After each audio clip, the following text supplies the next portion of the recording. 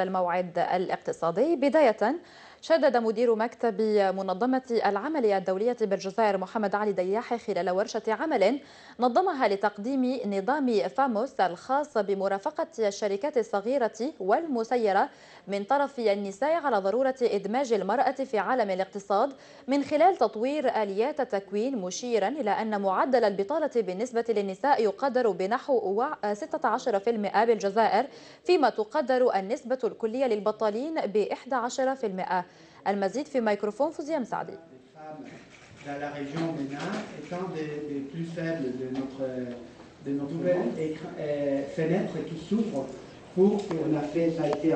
البطالة بصفة عامة في الجزائر حسب الإحصاءات الأخيرة تجاوزت 11% يعني taux global بالنسبة للمعدلات البطالة بالنسبة للنساء أعتقد أنه تجاوز 16% بالنسبة لي.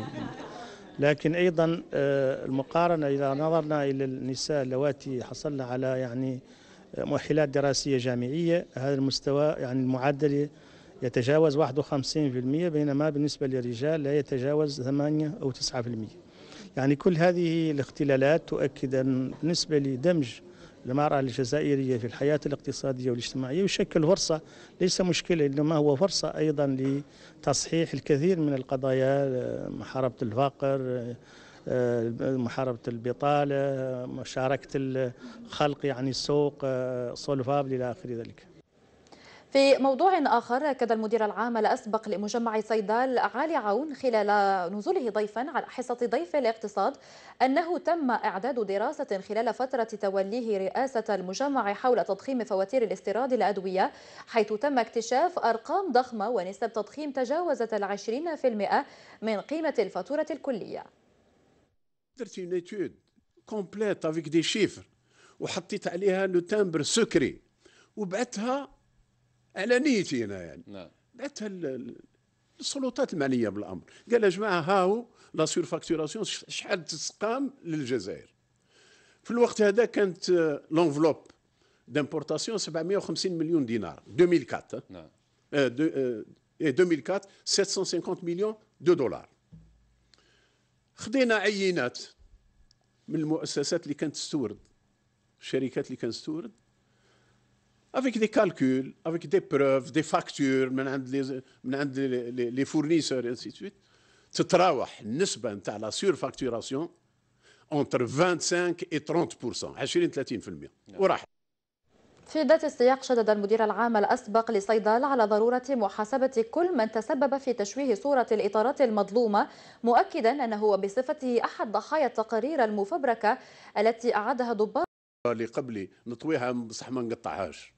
تقعد في التاريخ هذه لا moi tout ce que je peux dire dans ce sens-là la seule la meilleure manière de réhabiliter ces cadres je ne demande pas des postes là alhamdoulilah c'est pas il faut que ça soit les gens اللي داروا هذه التقارير المفبركه ويعرفوهم ولازم يجيبوهم كل لازم يفوتوا العداله ولازم اليوم يسمحوا لنا on dépose des plaintes contre eux parce qu'ils nous ont brisés en tant que personne ils ont brisé nos familles, ils ont sali nos noms. في قطاع المالية يعد نهاية المهلة المحددة في قانون المالية التكميلي لسنة 2015 الموجه لأرباب العمل لتسوية وضعية عمالهم. سجل الصندوق الوطني للتأمينات الاجتماعية لوكالة غليزان تسوية وضعية 29 مؤسسة منها أربعة عمومية حيث تم تحصيل أزيد من 11 ألف مليون دينار من جملة أزيد من 71 ألف مليون دينار. كان على عاتق أرباب العمل. حمزة زروقي رصد التالي. تم جدول الديون 29 مؤسسة عمومية وخاصة.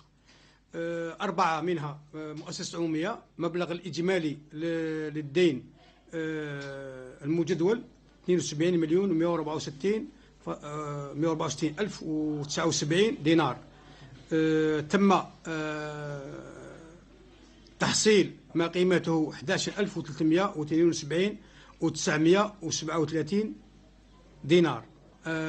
لا يفوتنا أن نضيف أن هناك الكثير من المستخدمين الذين قاموا بتسوية كل الاشتراكات واستفادوا من حتى يستفيدوا من